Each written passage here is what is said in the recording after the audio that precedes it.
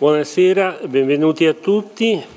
Eh, vi porto il saluto del direttore della scuola, attualmente impegnato altrove. Vi porto via soltanto un minuto appunto per, per il saluto e eh, sono stato pregato di sottolineare in particolare un aspetto che rende significativa per noi la giornata odierna in quanto comincia questo ciclo di eh, quattro incontri dedicati per la prima volta nel quadro del programma sviluppato dalla scuola d'intesa con l'Accademia Nazionale dei Lincei, dicevo il primo ciclo di una serie che nel suo complesso è stata avviata nel 2012 che ha per oggetto la uh, filosofia, la storia della filosofia. Il ciclo, come sapete, è coordinato dal professor Ciliberto e è articolato, per quanto ho visto, in quattro incontri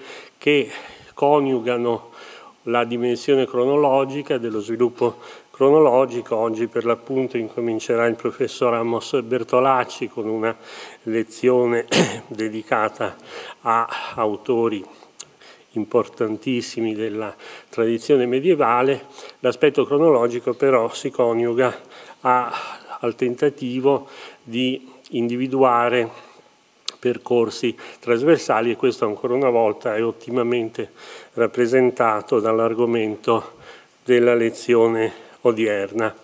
Eh, è inutile che mi soffermi sul, sulle intenzioni generali di questi incontri, probabilmente alcuni di voi o molti di voi hanno partecipato anche ad altre serie, l'idea eh, che li promuove è quella di eh, favorire eh, l'aggiornamento dei docenti, in particolare in questa sede dei docenti della scuola secondaria, ma il progetto nel suo insieme è indirizzato ai docenti della scuola media nel suo complesso, di promuovere eh, l'aggiornamento e la formazione in modalità dinamica. Credo che anche gli incontri che incominciano oggi dedicati alla filosofia si articolano in due fasi, una prima ora di lezione frontale e una seconda ora che immagino particolarmente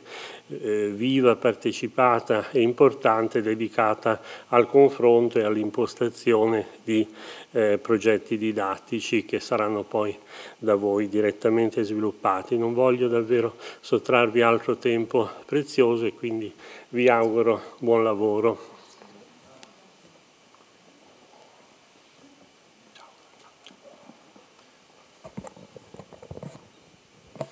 Ringrazio molto professor Claudio Ciociola, vice direttore della scuola per l'introduzione.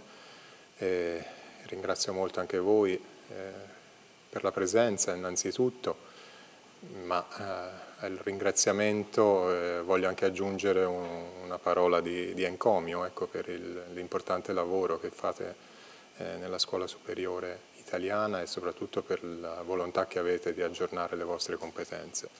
Spero davvero ecco, che quello che andiamo eh, a fare iniziando con oggi possa essere utile eh, per il vostro impegno che è davvero molto apprezzato non solo da me ma dai miei colleghi di filosofia e dalla scuola nel suo insieme. Quindi già conoscete eh, il titolo eh, del, del, mio seminario di questo eh, pomeriggio, l'ho organizzato in una serie di, di slides ho intenzione ecco, di, di, articolarlo in due, eh, diciamo così, in due, parti principali in cui sarò io ad esporre, facendo una breve pausa eh, nel mezzo per magari raccogliere un primo, una prima serie di osservazioni o di reazioni da parte vostra, per poi avere la vera e propria discussione alla fine eh, dell'incontro, dell'esposizione. Allora, il tema di oggi si, si pone a valle di una bibliografia davvero immensa su, sull'argomento. Ecco, il rapporto di Dante con l'Islam è stato oggetto di numerosissimi studi. E dire qualcosa di nuovo e di originale in questo, in questo panorama è davvero, è davvero arduo. Eh, proveremo a farlo, ma non sarà, come vedrete, non sarà, non sarà semplice. È importante però a livello preliminare, a livello metodologico, eh, distinguere almeno tre ambiti che riguardano il rapporto di Dante con l'Islam. C'è un primo ambito, quello delle fonti letterarie, di eh, derivazione o di matrice islamica. Avrete forse sentito parlare del libro della Scala eh, di Maometto e tutta la polemica che ha seguito nel secolo scorso, una serie di pubblicazioni che poi vediamo più in dettaglio. Un secondo ambito è quello dell'attitudine personale, diciamo, di Dante verso la religione islamica. Dante potrebbe aver usato delle fonti islamiche, ma certamente un'attitudine verso l'Islam che è di, di segno negativo, questo già possiamo anticiparlo non è un caso eh, eccezionale, anzi diciamo che è la regola eh, nell'Europa eh, medievale del tempo avere un'attitudine di rigetto verso l'Islam come religione.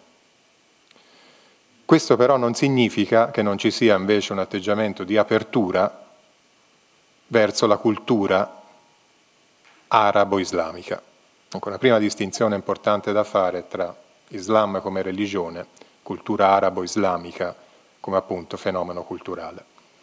E vedremo in particolare che la filosofia mh, arabo-islamica è importante per Dante e all'interno eh, dell'ambito della filosofia arabo-islamica la figura di Averroè è forse la più importante per Dante.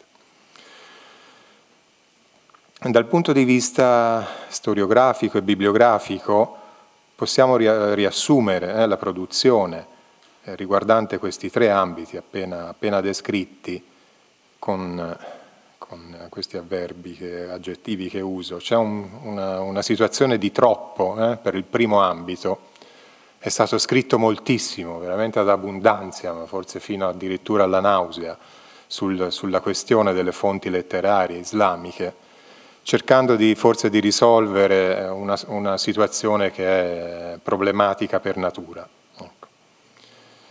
E da questo punto di vista sembra che Dante dipenda forse troppo ecco, dal mondo islamico rispetto a, a quello che in realtà è. Ecco, se invece esaminiamo l'attitudine di Dante verso l'Islam ci spostiamo sul versante del troppo poco.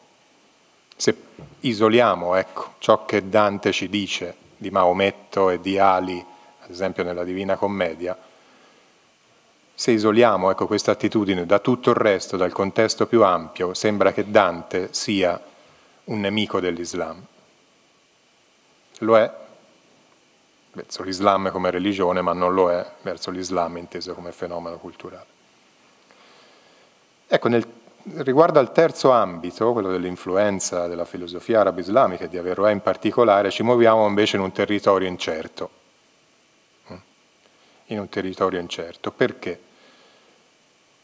perché il rapporto di Dante con Averroè è stato fin dall'inizio iscritto all'interno della categoria di averroismo, intendendo per averroismo l'attitudine verso Averroè da, avuta da alcuni filosofi del XIII secolo. Ne avrete sentito parlare, Sigeri di Brabante, Ezio di Dacia sicuramente. Hanno adottato l'interpretazione data da Verroè dei testi aristotelici come normativa in filosofia è normativa a tal punto da essere mantenuta anche quando si scontrava con i dogmi della religione cristiana. Questo è l'averroismo che poi andiamo a vedere più in dettaglio. Ecco, Dante è stato inserito sotto questa etichetta dell'averroismo, un'etichetta che gli va stretta da molti punti di vista, la genesi, eh, l'evolversi e i limiti eh, di questa eh, categorizzazione di Dante come averroista rappresenteranno uno dei temi principali del discorso che andiamo a fare. Un altro tratto eh, metodologico del, del, del, mio intervento è ecco, l'importanza che cercherò di dare ai testi stessi non voglio fare teorie eh, sui testi o perlomeno le teorie le voglio costruire se ci riesco su, sul dato testuale stesso. Ok. Vabbè. Posso proseguire? Poi queste cose le rivediamo, eh, ciascuna in dettaglio. Quindi cosa faremo? Ecco, tre, eh, diciamo così, tre punti della situazione sullo stato dell'arte. Eh? Il primo eh, sulle fonti letterarie della commedia, il secondo sull'attitudine di Dante verso l'Islam, verso la religione musulmana, il terzo, il più ampio, il più importante per noi, punto della situazione su Dante e la filosofia arabo-islamica, la cosiddetta falsafa, eh, così veniva chiamata, e rispetto ad Averroè in particolare. Poi vedremo tre testi di Averroè, uno tratto dalla metafisica e altri due su questa importante operetta di carattere teologico giu- o giuridico che, che Averroè ha scritto, dal titolo molto significativo sull'accordo della legge religiosa con la filosofia. Quindi Dan, eh, scusate, Averroè era un fautore dell'unicità della verità, unicità della verità vista dalla filosofia e dalla religione con ottiche diverse, ma pur sempre verità unica. Questo è un punto dirimente di differenza fra Averroè e gli averroisti. Per, averroisti, per gli averroisti latini valeva invece un principio della cosiddetta doppia verità. Per gli averroisti, ma non per Averroè. Questo è un, il punto fondamentale ecco, di ciò che vado a dire. Lo sviluppiamo, eh? lo svilupperemo il titolo eh, di quest'opera, Accordo della legge religiosa con la filosofia. A questi tre testi di, Averroè fanno da contraltare tre testi, mi pare, della Divina Commedia. Il primo è famoso, eh, gli spiriti magni eh, nel limbo, Averroè che è il gran commento feo, no? Prima grande attestazione eh, di debito professato, dichiarato da parte di Dante verso, verso Averroè. Altri due testi invece riguardano il paradiso, paradiso 26 paradiso 4, non si parla di Averroè, a me pare che ci siano dottrine espresse, addirittura una da San Giovanni Evangelista e l'altra da Beatrice, che assomigliano eh, tematicamente assai a cose dette da, da, Averroè, da. Vedremo, le confronteremo e vedremo se davvero questa analogia tiene e se tiene cercheremo di spiegare come possa, essere, come possa darsi. E poi delle conclusioni che come capite non possono che essere altro che provvisorie. Io per ogni slide procedo se non ci sono eh, veramente ecco, questioni di, di, di poca chiarezza. No? Vado avanti. Okay. E partiamo allora con il nostro primo argomento. Scusate per la...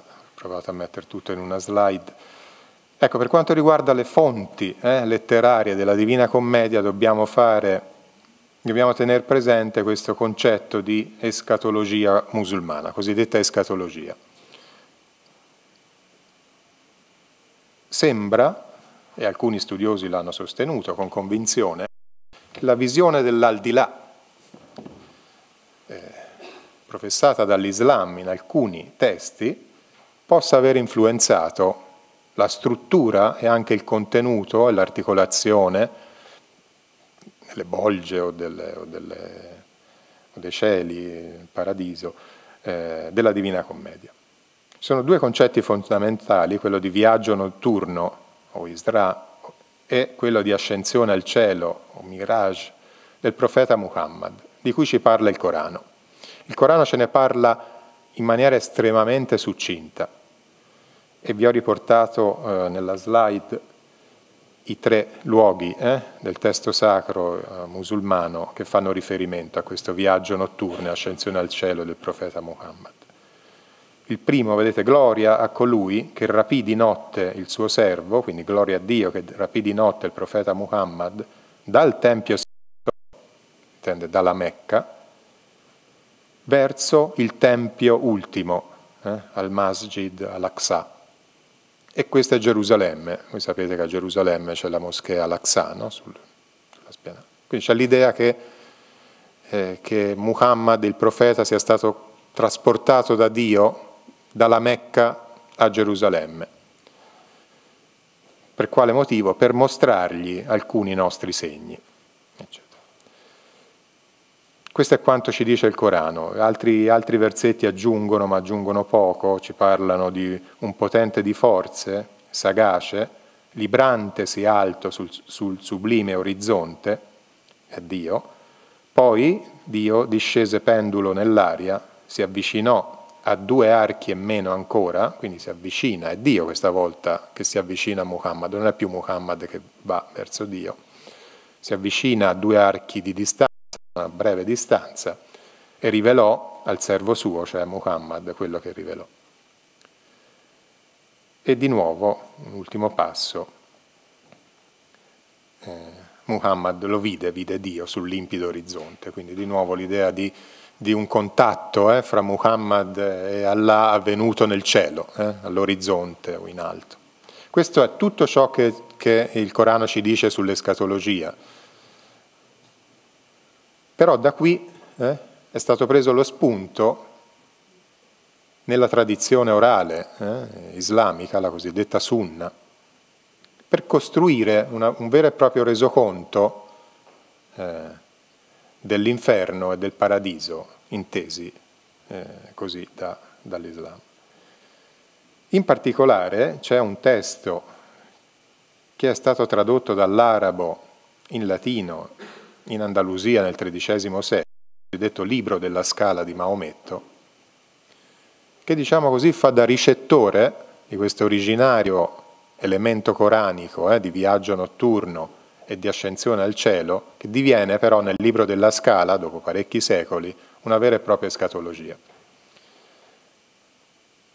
E può essere riassunto così come prova a fare nel, nella slide, quindi Maometto viene destato nel suo letto alla Mecca dall'angelo Gabriele, angelo Gabriele che gli rivela no, il Corano, è fatto montare sul destriero alato Burak, condotto a Gerusalemme e di qui è fatto ascendere in cielo per la fulgida scala, quindi c'è proprio un, un'ascensione che avviene attraverso una serie di gradi o di gradini, che dà nome al libro. Egli vede l'angelo della morte un altro in forma di gallo, un terzo metà di fuoco e metà di neve, e attraversa gli otto cieli, incontrando in ognuno un profeta, fino al, eh, fino al trono di Dio, e visita quindi il paradiso, con le sue delizie di natura e d'amore, e riceve da, da Dio il Corano con i precetti delle orazioni quotidiane e del digiuno.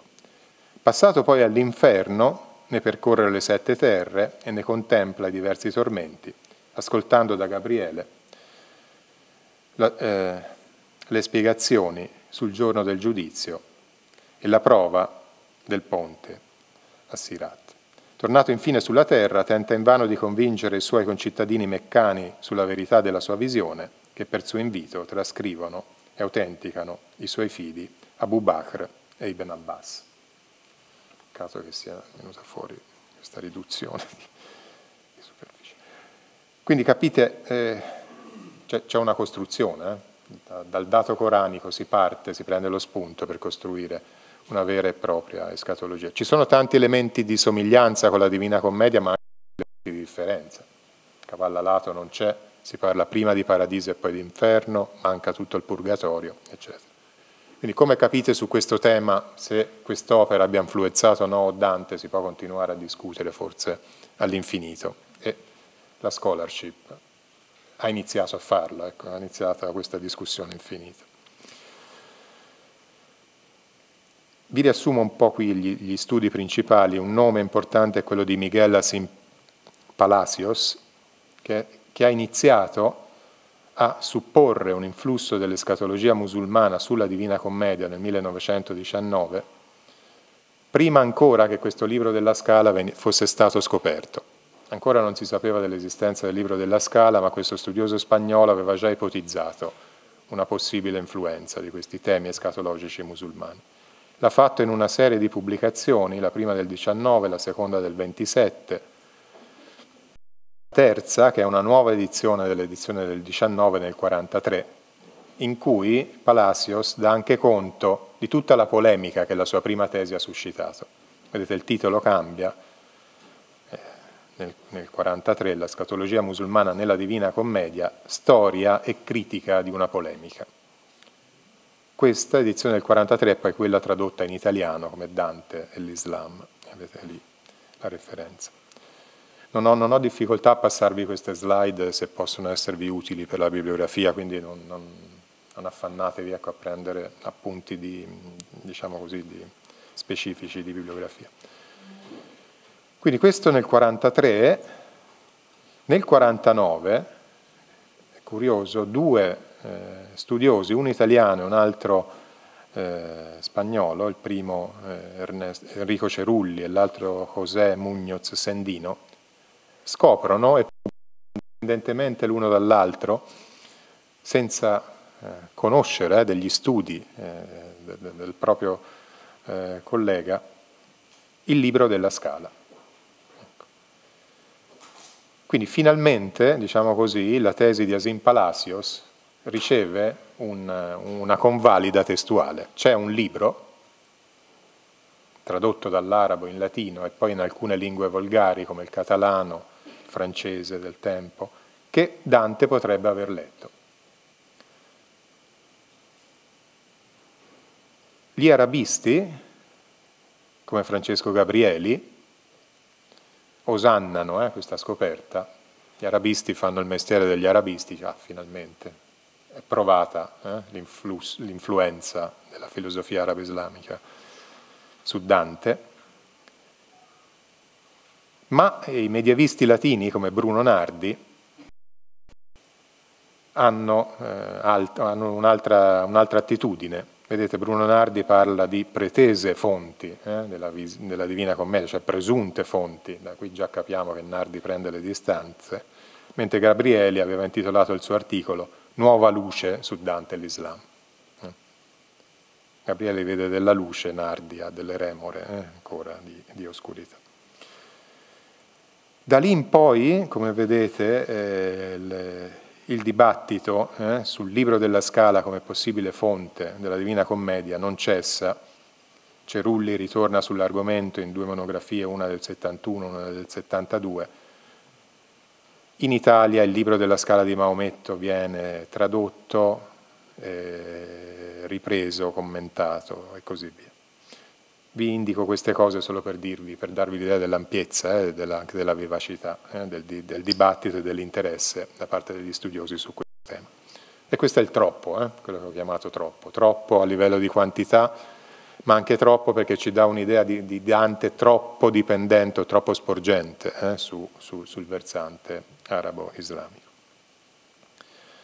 E passiamo allora al troppo poco eh, adesso. Come sapete ci sono due musulmani eh, dannati eh, nella Divina Commedia e non sono due musulmani a caso ma sono il profeta Muhammad stesso, Maometto, e il suo genero e terzo successore, il terzo califfo, Ali. Eh. eh Dante li, li, considera scismatici, li considera scismatici all'epoca, eh, nell'Europa medievale, si considerava l'Islam ancora come un'eresia, cioè un, troncone di cristianesimo che si era staccato eh, dal, dall'alveo principale della religione cristiana. Quindi così come hanno, diciamo così, scisso eh, la religione cristiana in pezzi, per contrappasso Dante li raffigura come squartati eh, da, da, dalla gola fino, fino all'ombelico e con le interiora eh, eh, fuoriuscite dai, dai loro ventri. Questa idea dello scismatico che per contrappasso viene squartato non è, eh, non è nuova e sembra che sia stata già applicata ad Ario eh, nel, in, in, ambiente cristiano. Ecco, già qui quindi l'idea di un... Eh, capite ecco la molteplicità delle, delle, delle fonti possibili. Quindi è certo che Dante condanna l'Islam eh, come fenomeno religioso, non potrebbe far di più. Eh. Si eh, concentra l'attenzione sul fondatore Maometto e su uno dei primi eh, califfi, Voi sapete che Ali è il capostipite del versante sciita dell'Islam, così come Maometto invece eh, rimane la figura di riferimento per il versante sunnita, e quindi sembra Dante voler abbracciare in questa sua condanna qualunque tipo di Islam si dia, sia quello sunnita che quello sciita. Ci può essere poi a proposito di Ali eh, un ulteriore eh, elemento di polemica da parte di Dante, non è escluso che così come c'è stata una scissione all'interno dell'Islam tra parte sunnita e parte sciita, Dante ponga entrambi, Muhammad e Ali, tra gli scismatici per dire, hanno, non solo hanno staccato l'Islam dal cristianesimo, ma poi hanno diviso l'Islam in due fazioni contrapposte. Quindi potrebbe esserci l'idea di uno scisma interno all'Islam. E qui avete Dante e Virgilio ovviamente che incontrano eh, Macometto, Macomatto. Eh, nel, nell'inferno vedete Mahomet eh, squartato con, le, con, gli intestini e con l'interiora che gli fuoriescono. Ecco, sul versante bibliografico questo, questo troppo poco eh, di Dante eh, verso l'Islam come, come religione eh, ha ricevuto un'attenzione non inferiore eh, rispetto a quella, quella, precedente. Qui vi riporto solo tre studi per, per sintesi, perché sono un po' eh, rappresentativi, esemplificativi di altrettante tendenze. Eh, Richard eh, Limay nel, nel, nell'87 ha insistito molto sull'anti-islamismo di Dante, basandosi proprio su questo passo eh, dell'inferno che abbiamo appena visto, nessuno può dargli torto, se però estrapoliamo questa attitudine del resto, eh, del, eh, dal complesso eh, de, de, de, della, dell'attitudine di Dante verso l'Islam e più in generale otteniamo un risultato troppo parziale. E Maria Rosa Menocal nel medesimo anno, sempre nell'87, in una monografia che rivendica il ruolo dell'arabo nella storia letteraria medievale, soprattutto per quanto riguarda la poesia eh, cortese, eh, anche stilnovistica, parla anche dell'atteggiamento di Dante verso l'Islam e introduce questa categoria psicologica di ansietà. Mm. Dante, secondo la Menocale, avrebbe un rapporto di attrazione e di, repulsa eh, verso, verso l'Islam sarebbe attratto da alcuni aspetti ma anche respinto da altri.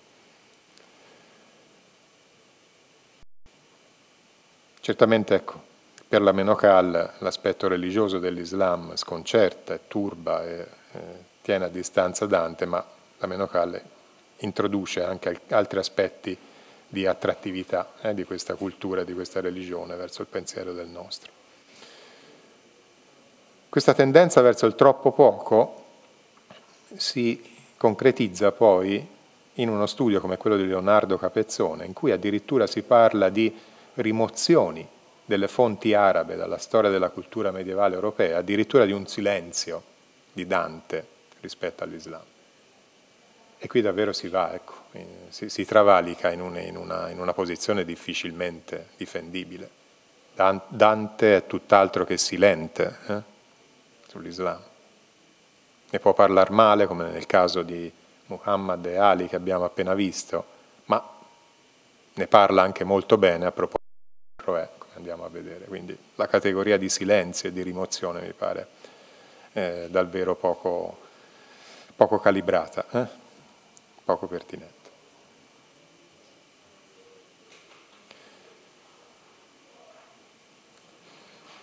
Ultimo elemento eh, di questa nostra rassegna bibliografica, quello che a noi sta più a cuore, quindi su Dante la filosofia arabo-islamica, Averroè in particolare. E qui ecco dobbiamo subito chiarirci le idee su cosa intendiamo per averroismo, eh, averroismo latino. È un movimento filosofico che è stato anche chiamato dagli studiosi aristotelismo radicale o aristotelismo eterodosso, che propugna, tramite l'interpretazione data da Verroè di Aristotele, un'adesione, direi, pedisse cioè fedele, totalizzante, alla filosofia di Aristotele, presa in quanto tale, che era stata da poco riscoperta, in alcune sue parti importanti, nel mondo latino. Il mondo latino conosceva, diciamo così, da sempre buona parte della logica aristotelica, grazie a Boezio, grazie a Severino Boezio, ma una porzione di logica e soprattutto tutta la filosofia naturale e tutta la metafisica di Aristotele divennero di nuovo accessibili in traduzione latina a partire dalla fine del XII e poi nel XIII secolo. Quindi c'è una sorta di riscoperta eh, di Aristotele avvenuta in quei tempi. Alcuni eh, interpreti di Aristotele presero come normativo eh, il modo di intendere Aristotele tipico di Averroè e ne fecero, diciamo così, una sorta di dogma filosofico. Chi sono eh, i sostenitori, chi sono gli averroisti latini? È importante ricordare che furono maestri della facoltà delle arti in università importanti come Parigi. Cosa si intende? Eh? Maestri delle facoltà delle sette arti liberali, no? il trivio e il quadrivio. Diciamo, erano insegnanti di filosofia e non erano teologi. Accanto alla facoltà delle arti c'era la facoltà di teologia, i cui maestri, i cui magistri erano invece teologi a tutti gli effetti. San Tommaso, Alberto Magno insegneranno non alla facoltà delle arti, ma alla facoltà di teologia a Parigi in quegli anni. Quindi diciamo così c'è anche una sorta di eh, conflitto, di tensione istituzionale eh, nelle università del tempo. All'interno della facoltà delle arti, a differenza di quanto avviene nella facoltà di Aristotele diviene l'autorità principale e l'interprete principale di questa autorità principale è Averroè. I sostenitori eh, più famosi sono Sigeri di Brabante e Boezio di Dacia. Sigeri di Brabante è molto importante per quanto andiamo eh, a dire tra poco, perché Dante ne farà un elogio nel Paradiso. Da questo elogio di Sigeri di Brabante fatto da Dante nasce l'idea di un Dante averroista. Ma vedremo che questa idea di Dante averroista, che da lì prende spunto, non può essere, diciamo così, intesa in maniera troppo rigida. Quali sono eh, le tesi fondamentali degli averroisti latini?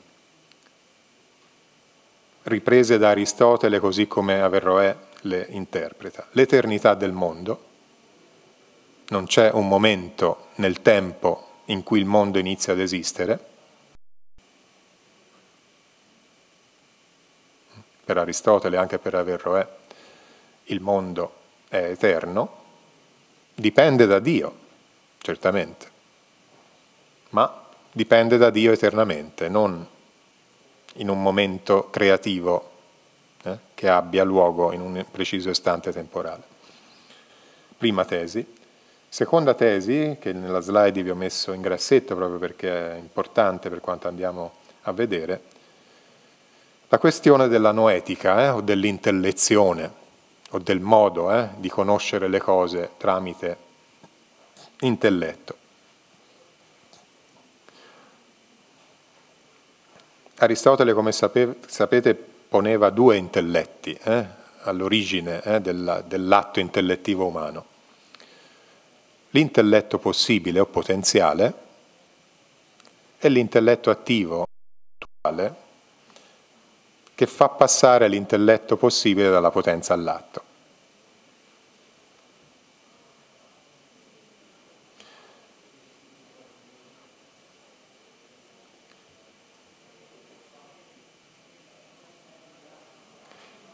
Non è molto chiaro in Aristotele eh, dove si situino questi due intelletti, ma diviene chiaro nella tradizione aristotelica successiva che l'intelletto attivo è un'intelligenza celeste, quindi è al di fuori eh, della natura umana. Ma l'intelletto passivo o passibile è una facoltà dell'uomo.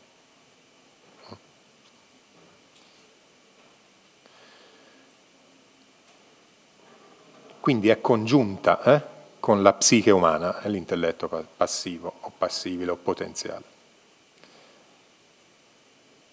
Ecco, Averroè è per aver interpretato questa oscura noetica aristotelica in un'ottica davvero molto radicale. Per Averroè questo intelletto potenziale o possibile è separato dall'anima umana e essendo separato eh, dall'individualità dei singoli eh, esseri umani, è unico per l'intera specie umana. Grosso problema, grosso problema, perché se così è, e se è vero ciò che Aristotele dice, che solo gli intelletti sono eterni e immortali, viene all'interno dell'essere umano a mancare l'elemento di eternità. Provo a ridirlo.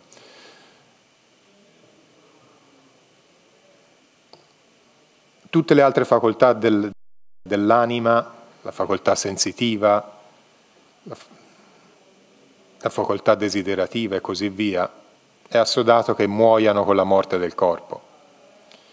L'unico elemento psichico che permane eterno e incorruttibile è l'intelletto. Fino ad allora, fino ad Averroè, si supponeva che uno dei due intelletti, quello attivo, fosse al di fuori dell'uomo, ma l'altro fosse all'interno dell'uomo. E questo elemento eh, di intellezione potenziale all'interno dell'uomo garantiva l'immortalità dell'anima umana. Con Averroè eh, si, si adotta invece una tesi radicale. Averroè dice l'intelletto, anche quello passibile, non può essere individuale perché è capace di conoscere forme universali e per poter conoscere forme universali deve essere esso stesso universale. Il ricettacolo della forma universale non può essere individuale o particolare. Quindi, in logica, Averroè pone anche l'intelletto potenziale come qualcosa di esterno all'anima umana, come qualcosa di universale e unico per l'intera specie umana. Problema dell'immortalità del singolo e quindi anche della retribuzione o della pena ultraterrena. Altro punto di scontro, eh, dopo quello dell'eternità del mondo, rispetto diciamo, all'ortodossia cristiana. Ho messo in grassetto questa parte dottrinale dell'averoismo latino perché come troveremo nella Divina Commedia, come troviamo nella Divina Commedia l'elogio di Sigeri di Brabante, troviamo nella Divina Commedia anche la denuncia del carattere erroneo della tesi averroista sulla separatezza dell'intelletto possibile. Quindi capite che la categoria di averroismo va stretta a Dante. Elogia uno degli averroisti, Sigeri, ma si guarda bene da sposare delle tesi fondamentali degli averroisti. Mi seguite, vero? Tutto chiaro? Ok, perfetto. Terza e ultima tra le, tra le dottrine cardini eh, dell'averoismo latino, la felicità intellettuale. La conoscenza, secondo Aristotele, e avallato in questo da Verroè, consiste nel conoscere, eh, scusate, la conoscenza porta alla felicità. Quanto più si conosce, tanto più si è felici ultima parte dell'etica nicomachea, vi ricordate?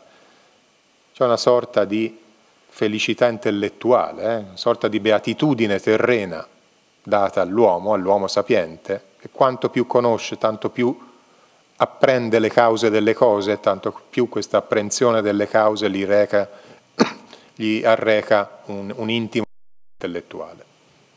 Questa è una sorta di paradiso eh, terrestre, permettetemi l'espressione, una sorta di appunto paradiso laico, paradiso terreno, riservato al filosofo, secondo Averroè, sulla scorta di, eh, sulla scorta di Aristotele. Anche qui capite ecco, il rapporto tra questa beatitudine terrena e conoscitiva da una parte e beatitudine invece promessa nell'aldilà da parte della religione cristiana, il rapporto tra questi due tipi di felicità costituisce un problema. Certamente questo problema non era sfuggito agli averroisti che avevano formulato quella che viene chiamata la dottrina della doppia verità. Gli averroisti, Sigeri di Brabante, Boezio di Dascia, dice, beh, quando noi commentiamo Aristotele per mezzo dei commenti di Averroè, una verità filosofica.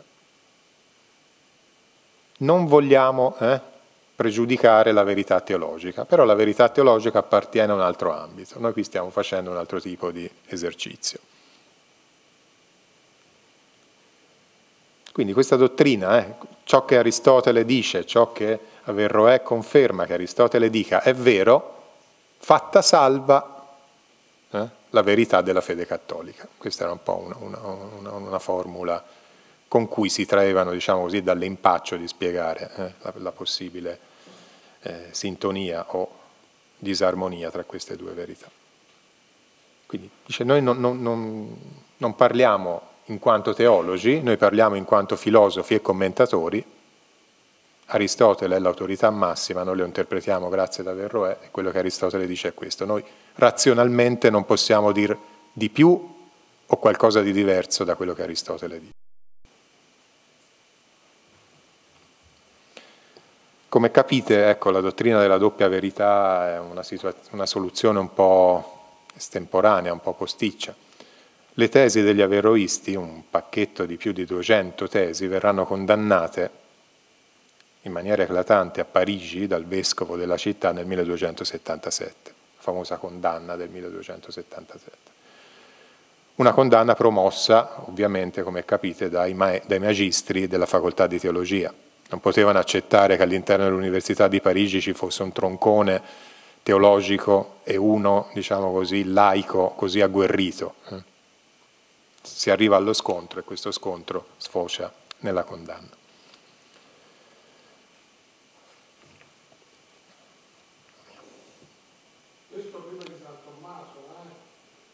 Eh, 1277 siamo già in epoca tomista. Eh? Eh sì, è, è morto, muore nel 74 Tommaso. Quindi Tommaso non sconfigge definitivamente no, no, no, no, no, no, no. Perlomeno ecco, questa condanna arriva tre anni dopo la sua morte. Certamente Tommaso ha contribuito, ha contribuito, ma non è lui che, che, che, che sconfigge.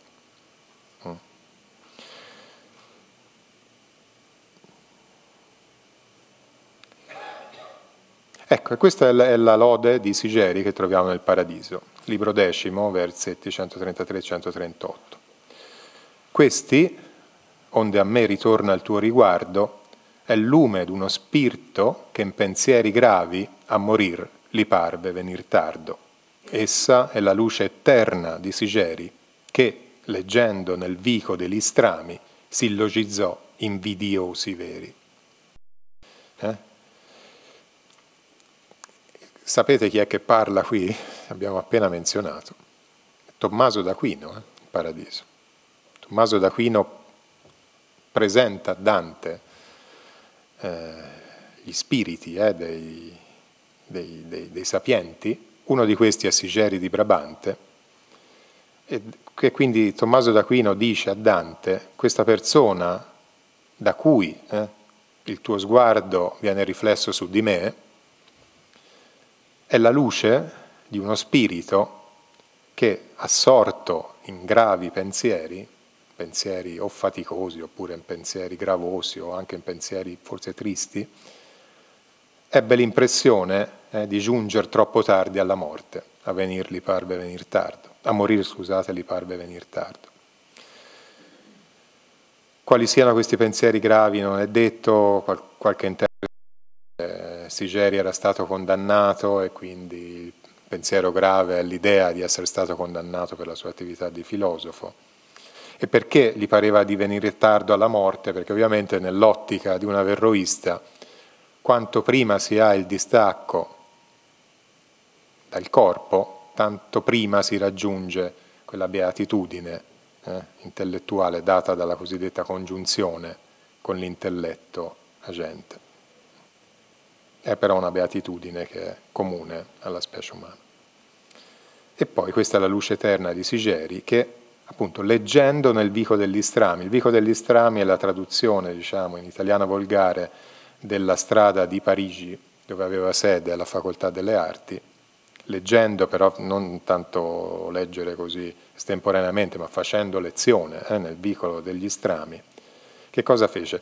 Eh, Sigeri pose in forma sillogistica delle verità che gli attirarono l'invidia, cioè la malevolenza eh, o il sospetto, la condanna di altre persone, invidiosi nel senso passivo e non attivo. Qui sembra proprio Dante far riferimento alla condanna del 1277, eh, da molti punti di vista, e sembra in questa esaltazione della figura di Sigeri in qualche modo sposare eh, l'attitudine eh, di questo averroista. Da qui è nata l'idea di Dante averroista.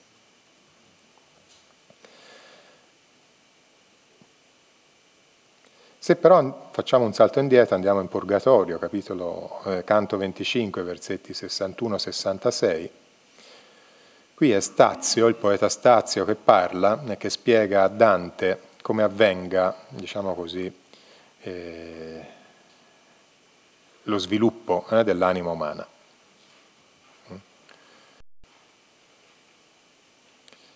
Ci sono delle facoltà dell'anima che l'uomo condivide con gli animali, facoltà sensitiva, la facoltà percettiva, eccetera. C'è da spiegare eh, come si generi, come, come abbia luogo quella facoltà che distingue l'uomo dal resto eh, degli altri esseri animati.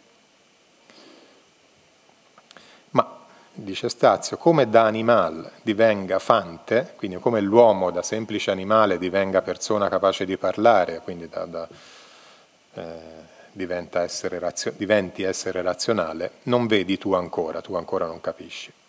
Questo è un punto dottrinale tale, questo è tal punto che più savio di te fe già errante. Questo è un punto che ha reso, ha fatto incappare in errore, ha reso errante qualcuno di assai più savio di te. E questo assai più savio di te, eh, dagli interpreti, come un riferimento ad Averroè sì che per sua dottrina fe disgiunto dall'anima il possibile intelletto, perché da lui non vide organo assunto. Eh? In cosa consiste l'errore di Averroè? Per sua dottrina, cioè secondo la sua dottrina, Averroè rese disgiunto il possibile intelletto, l'intelletto possibile di cui parlavamo prima, dall'anima. E perché lo rende disgiunto? Perché non vide nessun organo eh, corporeo assunto dall'intelletto possibile, non vide nessun organo corporeo utilizzato dall'intelletto possibile per la sua attività. Quello che a noi interessa qui è questo fe già errante. Dante denuncia l'errore eh, di questa posizione. Esatto, esatto. Sì, sì, sì, sì. Assolutamente, assolutamente, assolutamente. Assolutamente, proprio così. Esatto. Ecco, Ristos lì vuol dire o separato o separabile. Quindi potrebbe anche... Cioè Aristotele veramente lascia molto nel vago la questione. Nel, a partire da Alessandro d'Afrodisia si ritiene che l'intelletto agente sia un'intelligenza esterna, però da Alessandro d'Afrodisia fino ad Averroè l'intelletto possibile rimane ancorato con l'anima umana. Averroè primo a disgiungerlo, San Tommaso, ma prima di lui anche Alberto Magno. Alberto Magno con, con, condannano eh, questa tesi.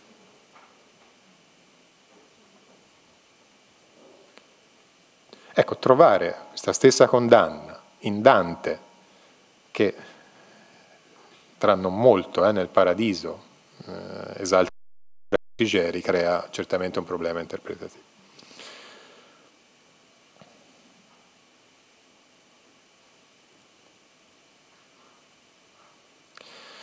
E quindi quello che dicevo come attitudine incerta, eh, Dante averroista. Bruno Nardi ha certamente contribuito in maniera decisiva alla nascita di, questa, di questo paradigma eh, averroistico di interpretazione di Dante. il rapporto di Dante tra Averroè in termini di averroismo. Chiara Bruno Nardi era un lucchese di Spianate, vicino ad Alto Pascio, non so se qualcuno di voi è della zona. Era un ex francescano, mm, faceva parte dell'ordine francescano che poi, diciamo così, ripudiò, e si mise a studiare, fu uno studioso esimio di, di filosofia medievale latina, in particolare di Brabante. figura di Sigeri di Brabante che era stata da poco riscoperta eh, nella, nella, nella, scholarship su, sulla filosofia medievale latina. E vedete in questo articolo già del 1911 Sigeri di Brabante viene presentato come fonte eh, della filosofia di Dante, proprio basandosi sul primo dei due passi che abbiamo letto prima. Una monografia di un anno successivo, nel 1912, Sigeri di Brabante, nella Divina Commedia le fonti della filosofia di Dante, interessantissimo il terzo articolo, il tomismo di Dante e il padre Busnelli, Societas Jesu. Che, che cosa fa Nardi? Reagisce al tentativo di inquadrare Dante in ottica neotomista. Padre Busnelli, gesuita, cerca eh, di trarre Dante eh, sul versante tomista. E abbiamo visto che ci sono elementi, eh, lo ricordavate voi stessi prima, la stessa condanna eh, che troviamo in Tommaso d'Aquino dell'intelletto possibile, unico e separato, la ritroviamo anche in Dante. Bruno Nardi veramente si scaglia, ecco questa, questa sorta di appropriazione eh, confessionale da parte del, del cattolicesimo e del neotomismo di Dante e rivendica l'aspetto averroista, mm, antireligioso di Dante stesso. C'è uno scontro ideologico, capite, in campo. Cioè Dante, figura complessa, viene tratto eh, parte cattolica, ma ecco, come reazione a questo tentativo di appropriazione sorge la posizione di Bruno Nardi che farà, che farà epoca. Che farà epoca.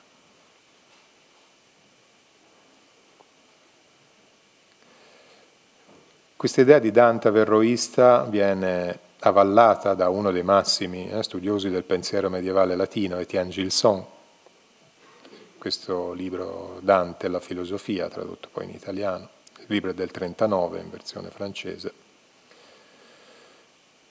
Altra esimia studiosa di Dante, Maria Corti, ci parla di tre versioni dell'aristotelismo radicale nella commedia. Quindi di nuovo l'idea dell'averroismo inteso come aristotelismo radicale nella commedia. Una di queste tre versioni è il nostro Sigeri di Brabante, una delle altre sarà Ulisse, addirittura Ulisse diviene per Maria Corti simbolo eh, dell'attitudine eh, quasi prometeica no? de, de, de, dell'averroista laico verso l'autorità eh, religiosa. Notate, ecco, vi ho messo in grassetto l'ultima parte del titolo di quest'altra opera fondamentale di Rudi Imbach, Dante, la filosofia e i laici. Ah, quindi Dante viene iscritto ecco, in questa, appunto, questa attitudine laica eh, verso, eh, verso, la filosofia, in contrapposizione appunto a una possibile eh, appropriazione religiosa. E infine nello studio di John Marenbon nel 2007 si parla expressis verbis di averroismo, di averroismo latino. Anzi, Dante viene presentato come il massimo esponente dell'averoismo latino, proprio perché, dice John Marenbon, in alcuni punti è talmente libero come pensatore che esita a discostarsi da Averroè stesso. Diciamo, come diciamo così, gli averroisti non, non esitavano a discostarsi dall'autorità religiosa, dal dogma cristiano, seguendo Averroè, Dante applica diciamo così, questo paradigma, questo schema ad Averroè stesso, lo segue fin tanto che vuole, ma si sente libero di non seguirlo più eh, quando decide altrimenti. E quindi per il Marenbon eh, Dante è il campione proprio dell'averroismo latino.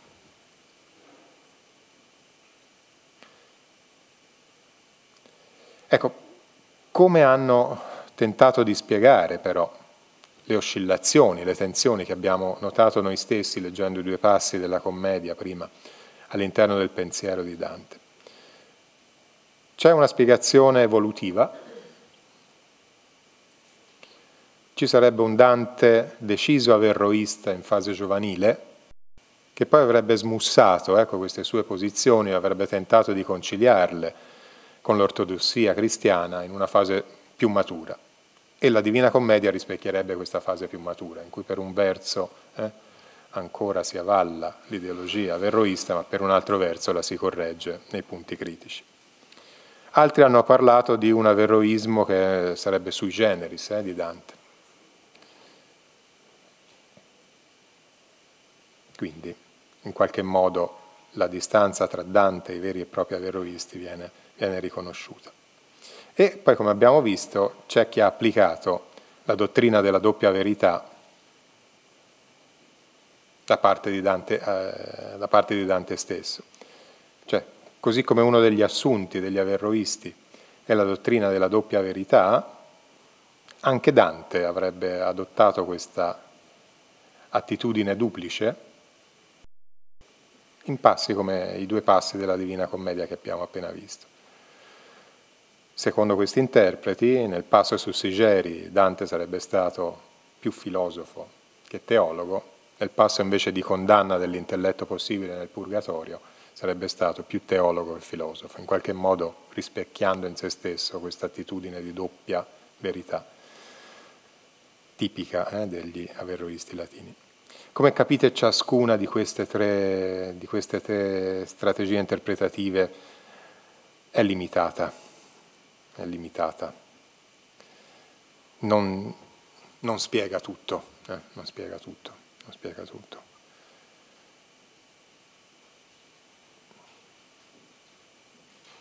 Sia l'evoluzione cronologica, sia il carattere sui generis dell'averoismo, soprattutto poi l'idea di una doppia verità attuata da parte di Dante in opere così sistematiche, così, così coerenti come la Divina Commedia, sembra, sembra non tenere alla prova dei fatti. Certo è che tutte queste tre strategie interpretative si collocano all'interno di quello che volevo definire paradigma verroista, qui è venuto fuori solo la parola paradigma, immaginatevi paradigma verroista a seguire.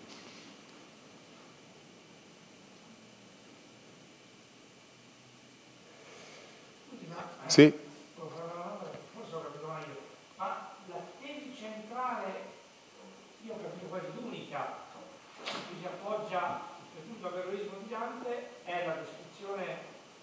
Così alta che fa, così oggettiva che fa di Sigeri, o ci sono anche altri, diciamo così, documenti, altre prestazioni contenutistiche? Ah, forse mi sentiva... No, no, l'avevo sentita comunque, va bene. Devo di essere sentito. No, dico, eh, chiedevo se l'unica... Eh, io ho capito forse male, ma io ho capito che praticamente l'unica eh, argomentazione forte degli, dei sostenitori dell'averroismo di Dante è l'elogio che fa di Sigeri, oppure se ci sono anche altri eh, passi o altri diciamo, toni, altri contenuti proprio eh, che permettano di eh, avvallare questa tesi. Oh, domanda davvero molto ben posta e molto, molto opportuna. Ce ne sono anche altri, ce ne sono sicuramente anche altri, sia all'interno della Divina Commedia, è uno il passo del limbo, degli spiriti maligni del limbo che andiamo a leggere tra poco, ma ce ne sono poi soprattutto all'interno del convivio. Averroè è citato, almeno un paio di volte, all'interno del convivio, nella monarchia anche ci sono citazioni di Averroè, quindi c'è una dipendenza da Averroè attestata dichiarata da Dante stesso. Però ecco il punto chiave è questo, dipendere da Averroè non significa essere averroista. L'averroismo, diciamo così, è una versione radicale eh, di una versione radicale di una possibile adesione ad Averroè come interprete di Aristotele. Ma certamente, diciamo così, per uno studioso come Nardi, ecco, che ha dato origine a questa idea del Dante averroista, l'elogio di Sigeri diciamo, è stato il punto di partenza, l'elemento scatenante di una tesi che però ha trovato poi appiglio testuale in citazioni di Averroè sparse sia all'interno della Divina Commedia che in altre opere di Dante. Prego. Sì? Io vorrei porre un sillogismo semplicistico. Se San Tommaso ha scritto il De Unitate Intellectus contra Verroistas e se Dante è tomista, ergo Dante per l'unità dell'intelletto, punto e basta. Dante è contro l'unità dell'intelletto. E per l'unità dell'intelletto. Ah, se Dante è averroista, quindi voleva dire. Riformuli il sillogismo perché allora, ho perso un pezzo. Sì. San Tommaso è per l'unità dell'intelletto. Perfetto. Mm. Contro l'unità dell'intelletto. De unità dell'intellectus contra, contra verroistas. Sì, contro. E quindi intelletto agente e intelletto potenziale formano un'unica cosa. No, Tant'è è, vero che c'è l'immortalità dell'anima, no? individuale. No, è una, guardi, è, ci muoviamo in quell'ambito lì, ma si parla di unità dell'intelletto possibile per tutti gli individui umani. Per avere immortalità personale, ciascun individuo umano deve avere un intelletto Io l'ho sempre interpretato così, cioè unità dell'intelletto possibile con quello agente in no. modo tale che ciascuno di noi ha al completo tutte e due le cose e quindi è immortale a livello personale. Io l'ho sempre interpretata così. Sono due questioni. ho sbagliato. Sono eh. due questioni strettamente legate. Una è l'unità dell'intelletto e una è la congiunzione dell'intelletto possibile con quello agente. Allora io mi riferisco al fatto Alla congiunzione. che mm. sia l'intelletto passivo sia quello attivo, potenziale e attivo agente, sono, formano un tutt'uno, cioè l'anima individuale che pensa, agisce, decide e quindi è responsabile di quello che fa e quindi può essere castigata o premiata. Io l'ho sempre interpretata così. E questa è la teoria di San Tommaso, Dante è tomista, ergo è per l'individualità personale dell'intelletto, sia attivo sia passivo. Eh, no, la questione è un, è un, po', più articolata. Eh, che l'intelletto... No, no, eh, provo, provo, a dirle, ecco come, come l'ho intesa io. L'intelletto attivo è fuori discussione che sia esterno all'individuo umano. Questo è un... Come no? Come no? Sì, sì. Lì, la, la, la, la questione ricade sull'intelletto passivo.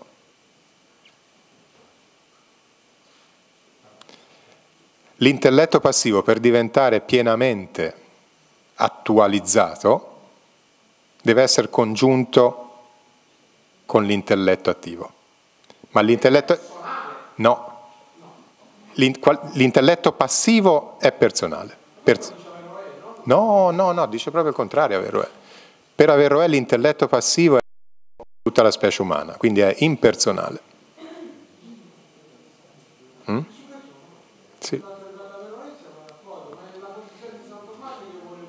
Per Tommaso l'intelletto passivo... Intende unità del passivo e no, dell'attivo. No, no, no, no. Lui, lui in, quel, in, quel, senso lì si intende congiunzione tra i due intelletti. Questa congiunzione ci deve essere perché se non ci fosse l'intelletto potenziale rimarrebbe sempre potenziale. Quindi noi non conosceremo mai niente a livello intellettivo se non ci fosse un intelletto attivo che influisce su quello passivo e lo fa passare dalla potenza all'atto individuale, personale. No, no, no, l'intelletto attivo no. l'intelletto passivo per Tommaso è individuale, per Averroè non lo è.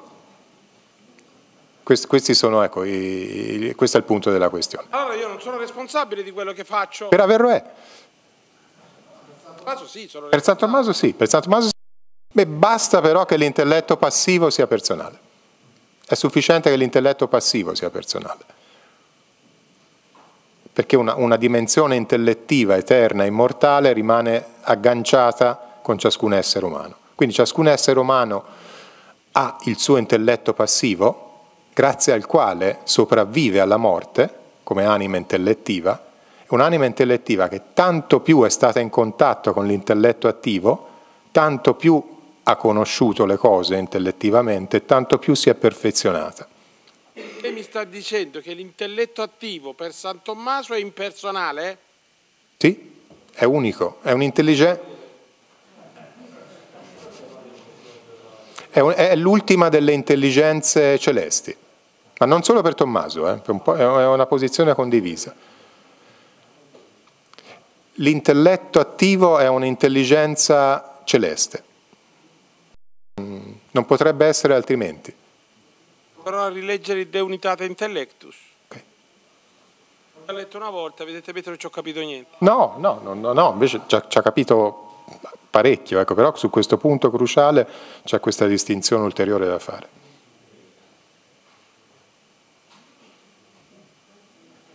Okay. Grazie comunque per, per, per l'osservazione. Ok.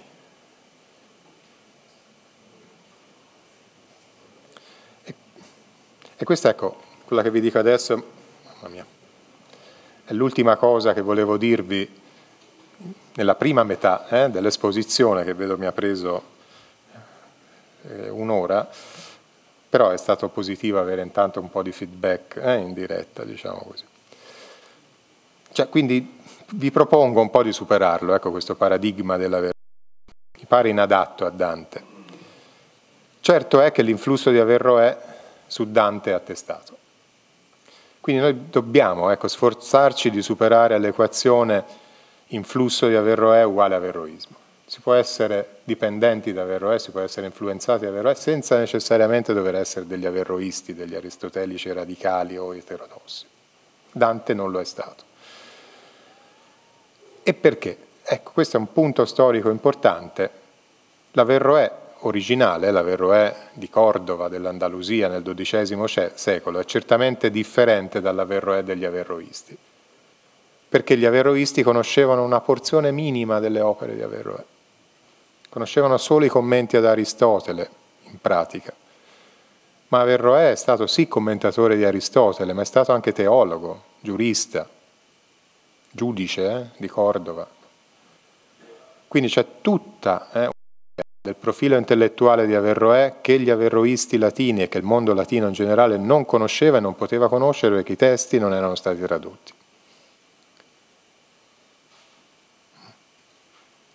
In particolare le opere teologiche eh, di Averroè non sono state tradotte in latino.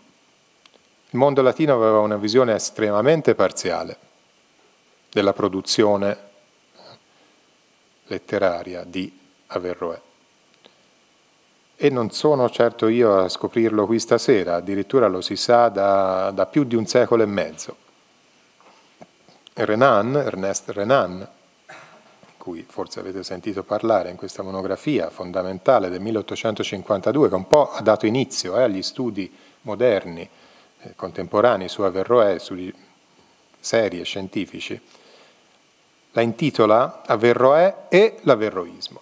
Quindi c'è un Averroè però c'è un averroismo, i due termini della questione non coincidono.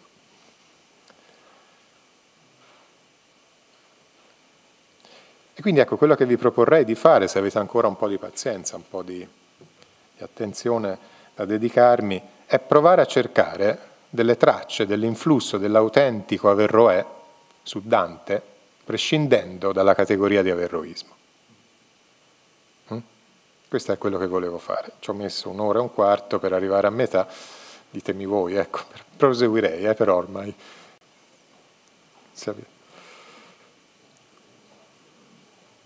E allora cosa, cosa, voglio andare a fare? A, a, leggere dei testi che ci presentano Averroè come l'esatto contrario del fautore della dottrina della doppia verità ci presentano Averroè come sostenitore dell'unicità della verità. A tal punto che Averroè dice che la filosofia è una forma di culto a Dio e viceversa dice che la religione è qualcosa di cui la filosofia ci dà la chiave di interpretazione.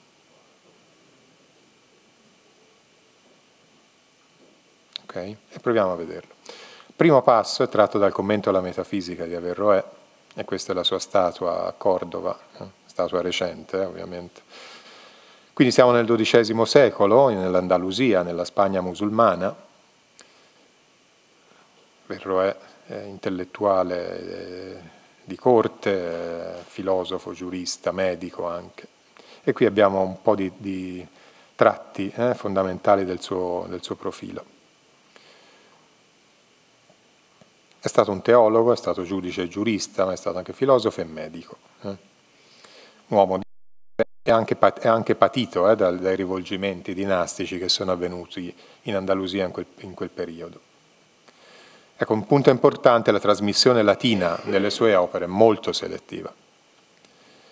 Qui trovate elencati nella slide le cinque tipologie principali di opere, opere teologiche non tradotte tutte le opere di, di diritto islamico non tradotte. Un'opera importante dei rapporti tra religione e filosofia che andiamo a leggere tra poco e che vi ho messo in grassetto non è stata tradotta. Il titolo è, come vi dicevo, rivelatore, Distinzione del discorso e accertamento di ciò in cui la legge divina e la, la filosofia si accordano. Quindi legge divina e filosofia parlano dello stesso oggetto ma con tipi di discorso differenti. Questa è la posizione di Averroè. Capite quanto è differente dalla dottrina di una doppia verità. In filosofia una buona fetta dei commenti ad Aristotele sono stati tradotti, ci sono poi opere polemiche, non so se avete sentito mai parlare della confutazione della confutazione o dell'incoerenza dell'incoerenza, stato un teologo musulmano precedente, Averroè, al-Ghazali, che aveva scritto una confutazione oppure incoerenza dei filosofi. Averroè risponde e dice no, c'è incoerenza in questa incoerenza, eh? non c'è incoerenza nei filosofi, quindi è al-Ghazali che si sbaglia, non sono i filosofi a farlo. E poi alcuni trattati originali. Opere di medicina, commenti a Galeno, commenti addirittura da Vicenna e altre opere. Quindi un, un, capite, un intellettuale davvero a tutto tondo, eh? un dottore universale, così come veniva chiamato Alberto Magno all'epoca, anche Averroè lo era. L'idea è che la filosofia dovesse abbracciare un po' tutti i campi del sapere, che il vero filosofo, il vero intellettuale dovesse essere anche teologo, eh, medico e così via. Poi magari ora vado un po' più veloce, poi magari nella discussione ritorniamo eh, su questi punti se avete domande o curiosità. Un passo importante del commento alla metafisica, il libro Alfa Elaton, il capitolo 1. Nel nostro modo di leggere la metafisica, il libro Alfa Elaton è il secondo, cioè prima il libro Alfa Grande o Alfa Meizon. Per gli arabi era il contrario. Alfa Elaton veniva prima di Alfa Meizon, per vicissitudini diciamo, di trasmissione che sarebbe ora troppo lungo chiarire. Però ecco, qui siamo all'inizio per Averroè, per i lettori arabi, della metafisica, il primo capitolo del primo libro, eh? Alfa Elaton 1. Aristotele dice, nel passo commentato da Averroè, che bisogna essere grati ai predecessori, perché ci hanno trasmesso eh, della conoscenza.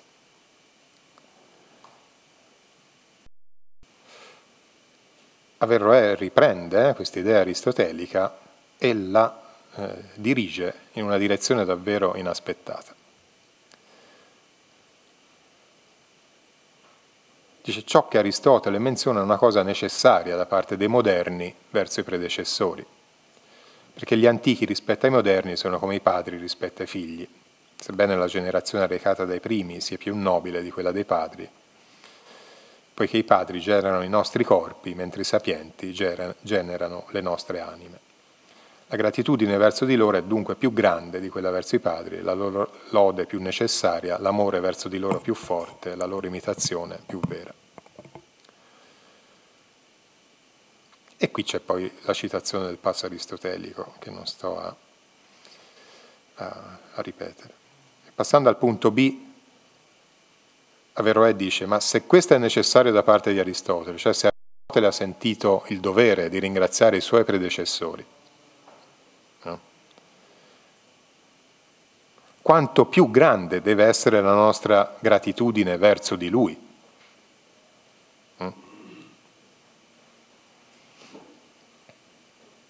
Perché eh, se i predecessori hanno arrecato ad Aristotele una piccola porzione di vero, Aristotele ha arrecato a noi una grandissima porzione di vero. Quindi diciamo così un ragionamento a forziori eh, o ad maiori. Se Aristotele è grato ai suoi predecessori, non dobbiamo essere esponenzialmente più grati verso di lui di quanto lui non lo sia stato verso i suoi predecessori. Poi la, il passo importante, la gratitudine verso di lui, che gli è propria, consiste nella cura dei suoi detti e nella loro spiegazione o nel loro commento e chiarimento a tutti gli uomini. Quindi aver, dice, la nostra gratitudine verso Aristotele deve tramutarsi in un'opera di commento di chiarimento dei suoi scritti indirizzata non a un'elite intellettuali ma a tutti gli uomini. Così come la religione, io aggiungo subito, è rivolta a tutti gli uomini. E poi il passo, il passo finale è quello cruciale. C'è una legge, e per legge si intende la Sharia, la legge religiosa, la legge islamica, che non ha necessariamente un carattere punitivo, eh? dobbiamo intendere Sharia in senso neutro a quest'epoca. La legge propria dei sapienti, infatti, è l'indagine della totalità degli esistenti. Cioè, la religione propria dei, dei, dei filosofi è indagare l'universo, eh? non essendo il creatore venerato con un culto più nobile della conoscenza delle sue opere, le quali conducono alla conoscenza di lui stesso secondo verità. E questa è la più nobile al suo cospetto e la meglio accetta presso di lui.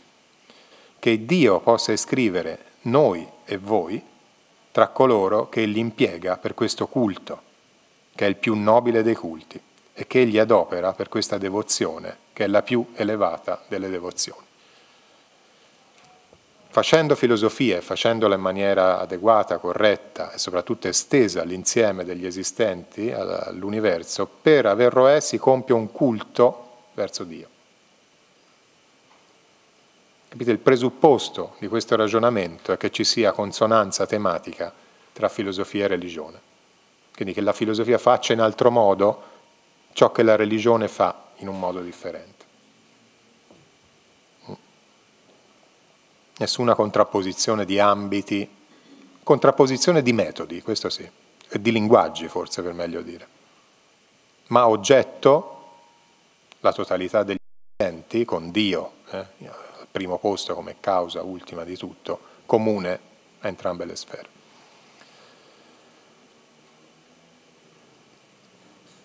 Okay. Qui ci siamo, questo è un, un testo chiave. E altri due tratti, ah qui un po' riassumevo, eh? riassumevo eh, in questa slide ciò che, di, ciò che abbiamo già, già, già visto. Solo, ecco, riprendo l'ultimo punto di questa slide, non vi è alcuna inferiorità della filosofia, eh, intesa come religione razionale.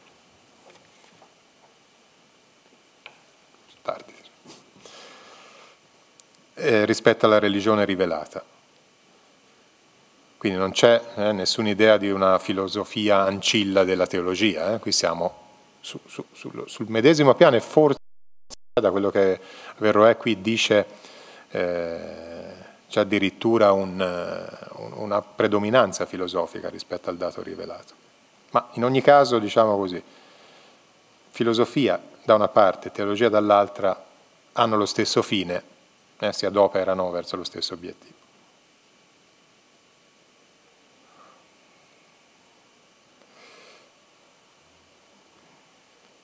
Altri due passi dall'accordo della legge religiosa con la filosofia. Questo è il famoso trattato di distinzione del discorso e accertamento di ciò in cui legge divina e filosofia si accordano. La speculazione fondata sulla dimostrazione apodittica, cioè la filosofia, non conduce a contraddire ciò che dice la legge. La verità non può essere contraria alla verità ma anzi si accorda con essa e testimonia a suo favore. Cioè, un'attestazione più chiara della dottrina dell'unica verità non potrebbe esserci. Mm.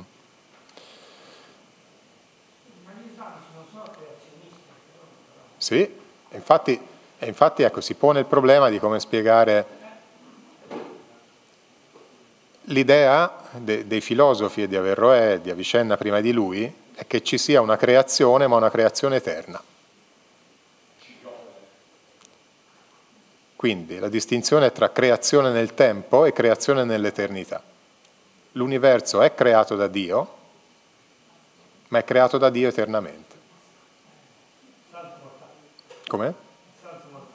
Salto mortale, però ecco, questo è il, è il, eh, il modo eh, di conciliare dato rivelato e dato filosofico che i filosofi islamici hanno trovato. Su questo magari ritorniamo, è un punto davvero eh, cruciale. Però ecco, a loro modo, i filosofi islamici avevano ben chiaro il problema e cercavano di risolverlo in questa direzione.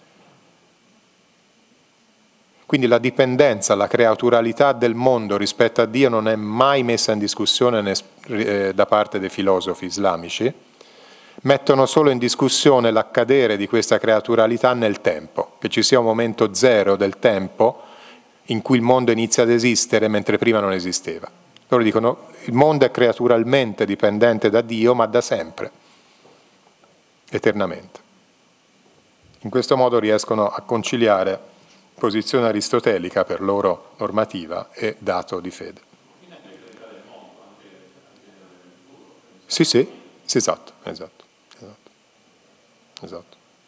Sì, sì, e anche diciamo, i, i premi e i castighi eterni avverranno dell'umanità, avverranno, sì, ci sarà un giudizio finale, ci sarà una fine, diciamo così, della vicenda umana, ma che non sarà però una fine del mondo come la intendiamo noi, ecco, una catastrofe finale la struttura ontologica del mondo rimane, rimane quella che è.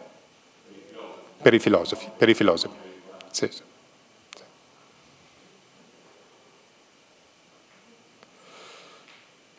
Secondo passo, noi, popolo di musulmani, crediamo fermamente che questa nostra legge divina, cioè l'Islam, sia vera e che sia la legge che desta l'attenzione, che chiama a quella felicità che consiste nel conoscere Dio e le sue creature.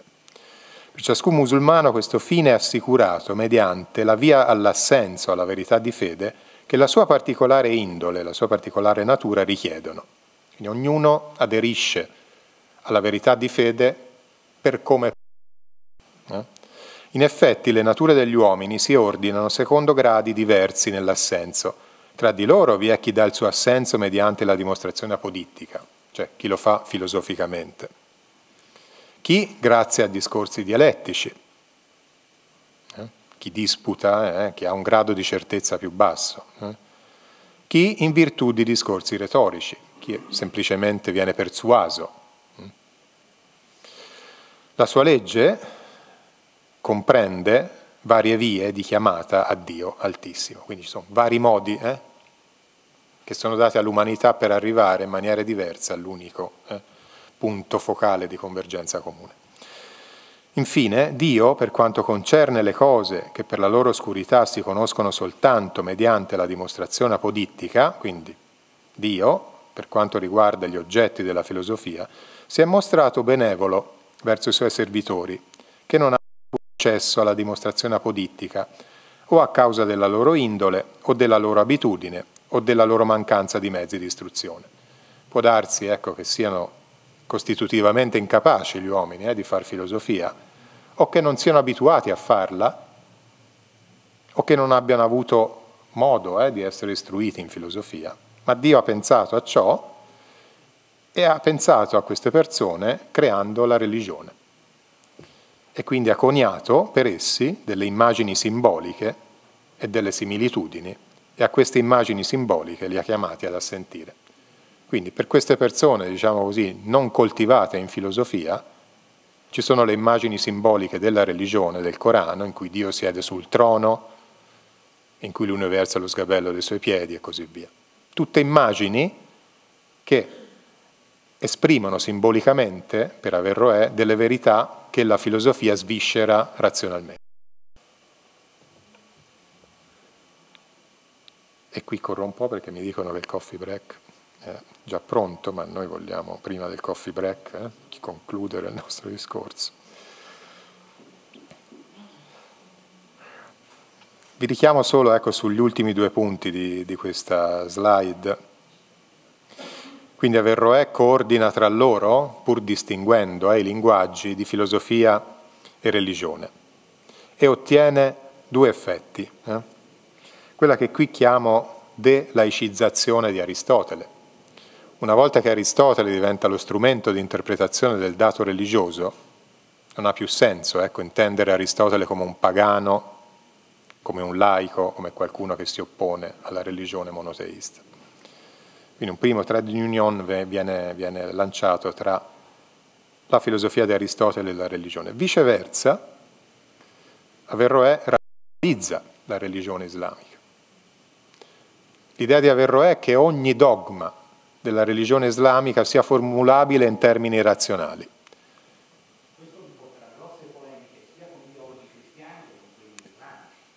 Eh certo, quelli islamici soprattutto. Eh. I, I, teologi cristiani lo conoscono poco questo aspetto di Averroè, lo conoscono poco. Però l'idea, ecco, che ogni dato di fede sia razionalizzabile. Se è razionale è anche universale e se è universale non è legato a un monoteismo particolare.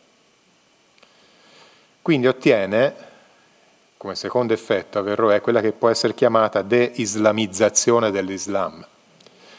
Potrei dire demitizzazione, ma il termine mito non, non sarebbe adeguato per Averroè, perché per lui certamente la religione non è un mito, però l'idea è questa. Mi seguite su questo punto? Questo è chiaro tutto. Eh? Mm. E allora cosa si apre? Si apre un, un, uno spazio di dialogo. Si apre uno spazio di dialogo. è perché? È perché questo tipo di filosofia, capace di rendere ragione di una religione rivelata monoteista come l'Islam, posta però su un piano universale, basata su Aristotele, era estremamente appetibile anche da parte dei cristiani e da parte degli ebrei. E su questo piano alto di discorso ci può essere circolazione tranquilla di, di idee. E quando si scende nello specifico del, del dogma, che allora si, si, si, si alzano, si erigono gli steccati, gli steccati ideologici. E quindi capiamo perché Dante si è interessato, e con Dante tutta la cultura medievale latina, ad Averroè.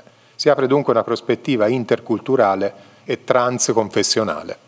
Ci può essere dialogo culturale, pur appartenendo a monoteismi diversi, ma su un piano di discorso superiore rispetto alle divisioni dogmatiche. Queste, queste idee si ritrova in Dante, nella commedia. Gli vengono da Verroè? Chi lo sa? Proviamo a vedere. Eh sì, eh sì, eh sì. A Tommaso arrivano da Verroè. Cioè, capite, la questione è interessante. Queste sono le conclusioni aperte che vorrei lasciare. Però se avete altri 5 minuti di pazienza vi faccio vedere i testi della commedia. Quindi gli spiriti magni. Eh? Il nostro Dante Alighieri. Come sapete ci sono cinque musulmani eh, nella Divina Commedia, due li abbiamo già visti, gli altri tre sono tutti e tre nel limbo, quindi la maggioranza dei musulmani è in una situazione di non dannazione. Mm? I fondatori dell'Islam sono dannati tra gli eretici, ma gli altri tre non, non sono nell'inferno ma sono nel limbo, in buonissima compagnia. Eh? Buonissima compagnia. Fra questi, dato eclatante, vi è anche Saladino. Se mi permettete l'analogia sarebbe come mettere Osama Bin Laden ai giorni nostri, eh, in una situazione di, di limbo. Ma insomma, per, per, per intenderci, Saladino ovviamente... No, no, no. Ritiro subito quello che ho detto. Basta. E qui li, li vediamo in un'illustrazione. Ecco, notate l'ambiente idilliaco in cui questi spiriti magni si, si, si, trovano, il nobile castello, il bel fiumicello, il prato di fresca verdura.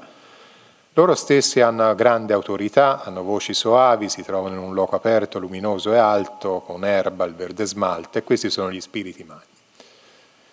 Nell'inferno come cantica, ma non siamo nell'inferno come luogo di dannazione, siamo nel limbo. Primo elenco, i personaggi della politica, personaggi della politica e della, della, della guerra, insomma, eh, anche.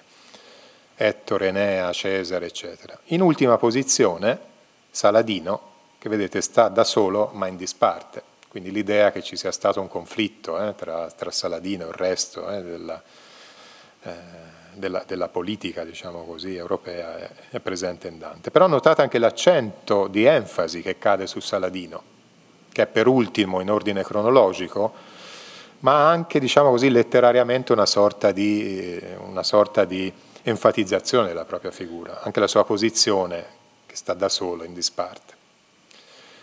Ci interessa ancora di più il, la terza sezione di questo, di questo passo sul limbo, perché qui troviamo ecco, la famiglia che sta riunita attorno al maestro di coloro che sanno, eh, Aristotele. Si crea composizione tra Aristotele da una parte e Socrate e Platone dall'altra, quindi cade eh, l'atteggiamento antiplatonico di Aristotele, cade anche l'atteggiamento antipresocratico e antisocratico di Aristotele, perché vedete c'è Democrito, c'è Anassagora, Talete, eccetera.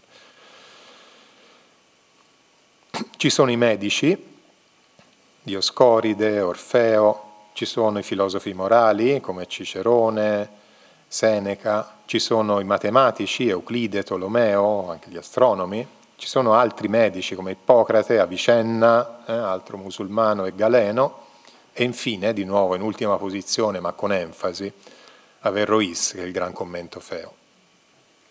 L'unico di cui si, si, si menziona l'opera è Averroè, opera che viene ritenuta grande, eh? grande opera di commento eh, di Averroè. Quindi prima grande attestazione di, di ossequio eh? e di debito anche verso Averroè.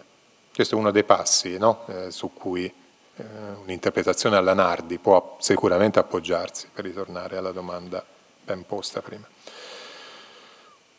Bene, questo l'abbiamo già detto. Eh, c'è una sorta poi di... sì, abbiamo già detto tutto, passiamo oltre questa slide. Cosa è importante dunque a questo punto di distinguere? La, eh, I due livelli, eh. il livello culturale dal livello religioso, se teniamo presente anche Muhammad e Ali. Eh. Nel livello culturale dato dalla politica e dalla filosofia in senso lato, che comprende anche la matematica e la medicina, quindi dobbiamo pensare alla filosofia come la intendevano i medievali, eh, come scienza, eh, tra virgolette. C'è una tendenza all'inclusione e al dialogo, eh, c'è una famiglia, un clima di famiglia, gruppo unito, gruppo compatto. Se invece ci spostiamo a livello religioso, allora troviamo Muhammad e Ali squartati, quindi la tendenza all'esclusione e alla condanna è certamente un modello ambivalente di rapporto con l'Islam, ma non è un'ambivalenza esclusiva di Dante, è un'ambivalenza tipica di tutta la cultura medievale. Hm. Non deve sorprenderci. E non dobbiamo fare, lo ripeto, di questo atteggiamento anti-islamico verso l'Islam come la religione il segnacolo di un Dante che prescinde o che è silente o che rimuove le fonti arabe, non è così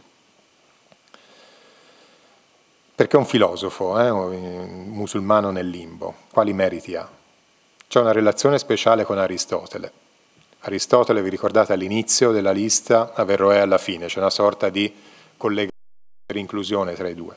Certamente il fatto che sia stato commentatore è importante per Dante, perché lo dice, e certamente ha anche contribuito in qualche modo, deve aver contribuito alla filosofica famiglia di cui ha fatto parte. Vediamo i due passi eh, di Paradiso 26 e 4 che a me ricordano eh, Averroè. Paradiso 26, Dante parla e questo concetto che esprime lo ripete San Giovanni Battista. Dante dice, per filosofici argomenti e per tale autorità che quinci scende, cotale amor conviene che in me si imprenti. Si parla dell'amore divino dice conviene, è necessario che si imprima in me, che in me si imprenti, per due vie. Filosofici argomenti da una parte e l'autorità divina che da qui paradiso scende sulla terra. Quindi, filosofia da una parte, rivelazione dall'altra. L'amore divino deve imprimersi in me, Dante, queste, in questi due modi. San Giovanni Battista, pochi, pochi versi dopo, ripete questo concetto. È Dante che parla, e io udii, Giovanni Battista che, che parla, scusate Giovanni Evangelista, eh, perdonatemi, ho detto Battista due volte, San Giovanni Evangelista. Per intelletto umano e per autorità di a lui concorde, di tuoi amori a Dio guarda il sovrano. Partiamo dall'ultimo verso. Tra i tuoi amori mantieni il più importante, cioè il sovrano, rivolto a Dio. Quindi fai sì che il più importante dei tuoi amori sia rivolto a Dio, di nuovo per due vie, per intelletto umano, per autorità divina a lui concorde, cioè concorde con l'intelletto umano.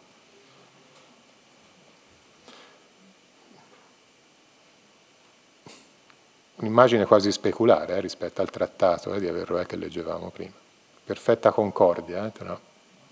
E notate che questo è un, è un, qui è un evangelista che parla, eh. è uno che avrebbe diciamo così, tutto l'interesse a porre l'accento sulla rivelazione, e invece lo fa in egual misura anche per l'intelletto umano. Paradiso 4, qui è Beatrice, che prende la parola, risolve alcuni dubbi eh, che Dante ha e dice, così parlar conviensi al vostro ingegno, così conviene che Dio parli alla vostra mente, al vostro ingegno, però che, poiché il vostro ingegno solo da il dato sensibile, solo a partire dal dato sensibile apprende ciò che poi rende degno di intelletto. Dice perché Dio parla per immagini? Conviene che sia così perché la natura umana deve sempre partire dal dato, dal dato sensibile per poi arrivare per astrazione a quello intelligibile. Per questo la scrittura condescende a vostra facultade e piedi e mano attribuisce a Dio e altro intende. Cioè per questo motivo la scrittura, la Sacra Scrittura è accondiscendente rispetto alle vostre capacità, a vostra facultade e attribuisce a Dio piedi e mani sebbene intenda altro. C'è l'idea di un significato più profondo della Sacra Scrittura tramutato o rivestito di immagini eh, simboliche o materiali o concrete. Questione, è possibile un influsso di Averroè su Dante? Se c'è un influsso di, Aver, di Averroè su Dante, è l'unico? Queste idee Dante le ha, le ha prese necessariamente da Averroè, potrebbe averle prese da altri? Sicuramente sì. Intanto c'è una considerazione proprio materiale da tenere presente. Il commento di Averroè alla metafisica, da cui abbiamo letto eh, il primo passo sul culto divino, è stato tradotto in latino, ma a quanto pare quel passo lì particolare non è stato tradotto in latino il traduttore si è reso conto del carattere sensibile di ciò che Averroè diceva in quel passo e ha deciso di non tradurlo in latino. Peccato. Il trattato, poi la distinzione del discorso, eccetera, non è stato tradotto affatto. Se, eh, lungi da me l'idea eh, che, che, che, Dante dipende da Averroè o dipende esclusivamente da Averroè, cioè, le fonti potrebbero essere molteplici. Se però ecco, ci incamminiamo, eh, incuriositi per questa strada, possiamo fare riferimento a tre modi di spiegare le somiglianze tematiche. Somiglianze tematiche sicuramente ci sono, queste mi paiono innegabili. E qui riprendo la concettualità di Maria Corti, che parla di, per spiegare somiglianze tematiche tra autori distanti tra loro nello spazio e anche nel tempo, di tre possibili canali l'interdiscorsività, cioè una cultura comune ai due, L'intertestualità, il fatto che potrebbero l'uno o l'altro dipendere da una fonte comune, da una fonte intermedia, potrebbero, ecco, magari non averlo è direttamente, ma indirettamente questa idea essere passata a Dante, oppure poi il terzo modo, quello più forte, ci può essere un influsso diretto di un testo su un altro. Ma questo terzo modo nel nostro caso è escluso, perché le latine non ci sono state. Siamo arrivati alla conclusione, vi ringrazio, se avete ancora un attimo di pazienza vi mostro qualche immagine. Ecco, questo è un po' il modello eh, di di dialogo interculturale che Dante ha in mente. Si tratta di un frontespizio di una metafisica tradotta, eh, scusate, della traduzione latina di una metafisica edita a Venezia nel 1483, vedete c'è scritto Liber Primus Metafisice. Notate Aristotele eh, con il cappello nero a destra, ma a sinistra c'è Averroè con la tunica gialla il turbante e, a, e al suo fianco Avicenna con il libro in mano e la corona.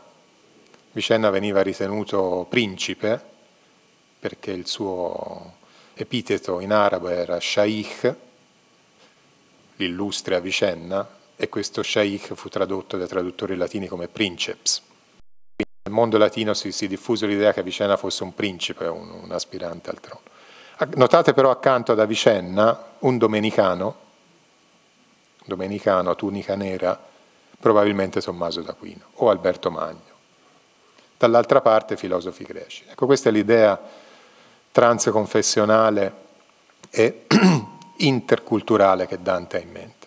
Non ha certamente in mente questa idea qui, eh? Trionfo di San Tommaso d'Aquino eh? su Averroè. Vedete? Tommaso d'Aquino con in mano il testo sacro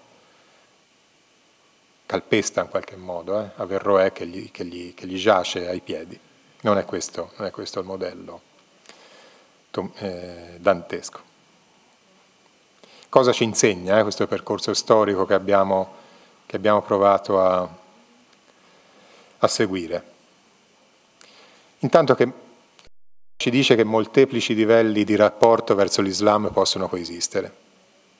Può, essere, può esserci l'epoca delle crociate, quindi in cui c'è scontro politico, può esserci l'epoca in cui Muhammad e Ali vengono rappresentati come squartati all'inferno e quindi c'è scontro religioso, ma nonostante questo ci può essere dialogo culturale. Quindi il segno negativo che vale per alcuni di questi ambiti non implica un segno negativo su tutti gli ambiti, ci possono essere ambiti di confronto col segno positivo.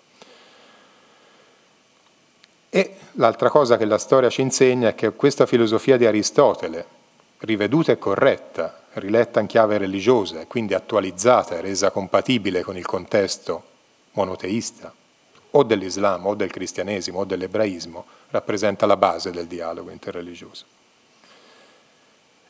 interculturale, in particolare medievale. Riguardo al presente è confortante che ci sia un recupero dei protagonisti di questo dialogo nella cultura araba contemporanea. In particolare Averroè è per gli intellettuali, soprattutto del Maghreb, del Nord Africa, il modello di un razionalismo ossequioso e ottemperante dei dettami religiosi, ma anche un razionalismo capace di scongiurare i rischi del fanatismo e dell'integralismo. E c'è da chiedersi se questo modello di dialogo interculturale avvenuto nel Medioevo in un'opera di scontro e di conflitto in altri ambiti non possa essere anche riproposto adesso. Possibile dunque una nuova filosofica famiglia, così come Dante la intendeva? Ci può essere un nuovo aristotelismo, riveduto e corretto? Certamente a livello culturale stanno di fronte all'umanità dei temi di, di interesse comune, quindi elenco alcuni, l'ecologia, la bioetica, i diritti umani e le pari opportunità, la globalizzazione, la finanza internazionale. Ci sono dei temi di discussione culturale che travalicano gli steccati ideologici. Questi sono temi che ci riguardano in quanto esseri umani e che riguardano tutti. Domanda, ulteriore domanda che mi pongo è se questo modello di dialogo interculturale non possa servire anche al dialogo interreligioso. Forse è recuperabile la matrice comune ai tre monoteismi? Si può ritornare alle origini, alla religione abramitica riscoprire le radici in Abramo delle tre religioni monoteiste? Questa è un'ulteriore questione che si apre, ma per il momento vi ringrazio.